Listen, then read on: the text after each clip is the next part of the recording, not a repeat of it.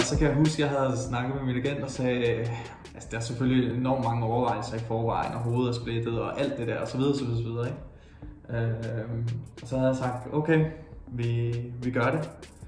Øh, og så satte jeg mig ind i bilen, og jeg skulle spille, jeg tror jeg havde karantæne, fordi sådan som jeg husker jeg skulle spille en reserveholdskamp ude på, ude på ude i Brøndby.